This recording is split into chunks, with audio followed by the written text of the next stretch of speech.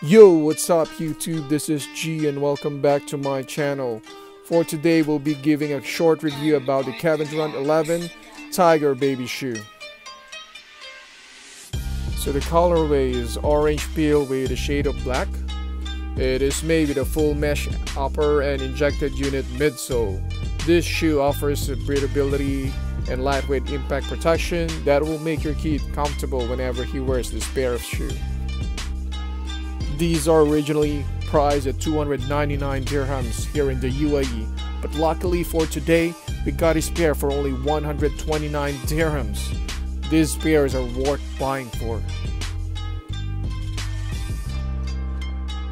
I do believe that kids out there will enjoy wearing this pair of shoes just because of how it looks with the KD logo on it and this uh, little tiger accent makes everything perfect. So thank you for watching the short video. If you like it, don't forget to hit the thumbs up button and don't forget to subscribe to my channel for more upcoming videos. Thank you once again and peace y'all. Good night.